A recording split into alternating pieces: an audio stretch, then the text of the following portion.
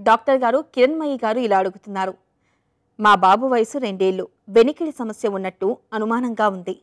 పూర్తిగా చెముడు కూడా కాదు. కాస్త పెద్దగా చెబితే తప్ప వినపడ్డం లేదు. కొంతమంది చెబుతున్నట్టు పెద్దయ్యే కొద్దీ సమస్య తగ్గుతుందా? లేదా ఇప్పుడే డాక్టర్కు చూపించి దీన్ని సరిచేయించే అవసరం ఉందా? అని అడుగుతున్నారు.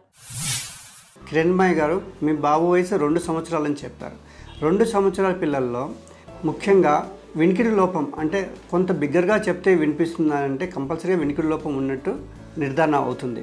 దీనికి తగినటువంటి టెస్టులు అంటే బేరా టెస్ట్ కానివ్వండి ఆటో ఎకస్టిక్ ఎమిషన్స్ కానివ్వండి చేయిస్తే ఆ వినికిడి లోపం ఎంత తగ్గిపోయింది అంటే ఎటువంటి తరహా వినికిడి లోపం అనేది అర్థమవుతుంది. అంటే న్యూరలాజికల్ వినికిడి లోపమా లేకపోతే కండక్టివ్ వినికిడి లోపం అని అర్థమవుతుంది. సో ఎప్పుడైతే తగ్గిపోతుందో దానివల్ల ఏమవుతుందంటే మనకు మాటలు కూడా రావడం కష్టం అవుతుంది వయసు పెరిగే కొద్దీ ఇంకా వినికిడి తగ్గడానికి అవకాశం ఉంటుందమ్మా. ఇప్పుడు మీరు టెస్టులు చేయించిన తర్వాత ఇంపిడెన్స్ టెస్ట్లో ఏదైనా లోపం ఉంటే దానికి తగినట్టు గ్రోమెట్స్ అనే చిన్న వెంటిలేటింగ్ ట్యూబ్ని పెట్టచ్చండి. అలా కాకుండా బెరా టెస్ట్లో మోడరేట్ హీరింగ్ లాస్ ఉంటే దానికి తగినటువంటి హీరింగ్ ఎయిడ్ పెట్టుకుంటే వినికిడి ఇంప్రూవ్ చేయడానికి అవకాశం ఉంటుంది.